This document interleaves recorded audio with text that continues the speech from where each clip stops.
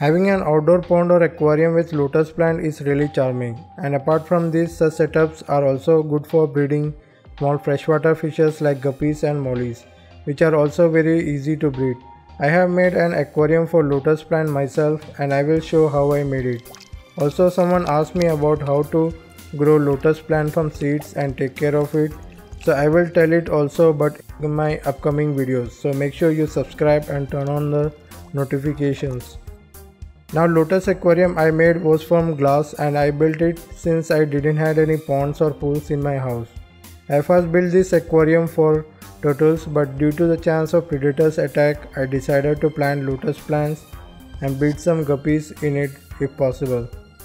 So let's get started with setting up of outdoor lotus aquarium. First I decided where to place it. Lotus plant mostly grows in open area with proper sunlight and warm water. So I decided to make this setup on the top of my house where there is sufficient sunlight. Also this petha birds that eats the lotus I was growing which is named Nelumbo nucifera. So I have to keep them at bay as well. I began by placing some cement bricks and then I made wood frames like this one and placed it on top of it. After that I put white thick air sponge on top of it to give aquarium a soft surface to rest on. Now I place the aquarium I built myself on top of it. Before continuing further the whole setup needs a good cleanup. Now I put some soil in it. I preferred Aqua Design Amano ADA Aqua Soil Amazonia 9 liters which is normal type which is good for growing any aquatic plants and provides all essential nutrients. There is also powder type of this soil as well. You can also add a layer of power sand before adding this soil to enable cultivation of aerobic bacteria and better root growth. If you want to buy this soil or the power sand, I have dropped a link in the descriptions. You can buy it from there. I decided to plant the plant on the outer surface so I added soil like this. Then I put some white crystalline quartz gravels towards the center. Also make sure to thoroughly wash the soil and the gravel in water to avoid cloudiness after adding water.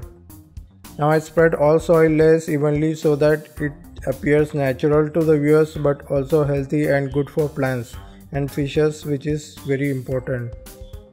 My layout was based on island coastal end so I made the gravel arrangement like that. You can spark your own idea and make a different outlook as well. After adding soil, now plants are added and while adding plants like lotus plants, make sure their roots are completely submerged and for that the soil layer should be bit thicker. Now it's time to place the decors. I choose some rocks and some hiding places for fishes and water fountain pump kit which I shown in one of my earlier videos. Place these decors as pleasing to you and probably place the hiding caves for fishes in shaded places where there is more plants. It's time to add water. I choose normal tap water and after filling the aquarium you can treat the water with stress coat or similar solutions to remove harmful metals and chemicals from it. Now after adding water and adequate treatment solutions you can add fishes and water fountain pump kit and that's it. Now since this aquarium is an outdoor aquarium it can easily get algae bloom in certain seasons near to springs. For that I recommend adding barley straws like this one which is very easy to make. I wrapped the barley straw in mesh bags like this and placed some heavy gravels in it and close the bag. You can place it in ponds or aquariums. This straw releases hydrogen peroxide which kills the algae and prevents them from growing in large amounts. So you can try algae fix for ponds or pond dyes to make water clear and prevent the algae growth. Links to this are also in descriptions, you can buy it from there. So if you add these chemicals, it is necessary to remove the dead waste formed from after it or it will pollute the water and may harm the fishes and plants. In fact, whatever maintenance work you do for ponds can be applied for outdoor aquariums so you can reach for other problems that can rise in it. I say the pond care products are very costly so unless you can afford for it don't try to make such huge setups as pond problems are numerous and same can be applied to large setup like this one too. You can also grow lotus plants in small pots as well. You just need to make sure the water is good and the plant get adequate nutrients for their growth. So for pot plantation you can add small amount of nutrients in certain period of time so that plant stay just healthy. Also if you are making lotus aquarium like this one, try converting it to aquaponic setups or power it with solar inverter units to make it run efficiently. So in this way I finished making my lotus aquarium and I put some guppy fish also in it for breeding them and these fishes breed more easily and can tolerate wide range of temperatures and water conditions.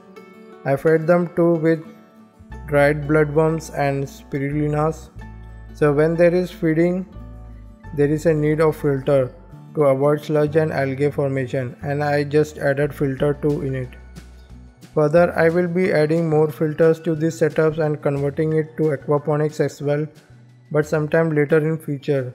So for watching my upcoming videos make sure you subscribe and like this video or share it with your friends.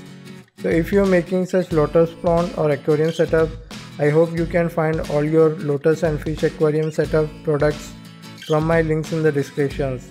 If you have any comments, drop it down in the comment section below. Until next time, bye and take care and thanks for watching.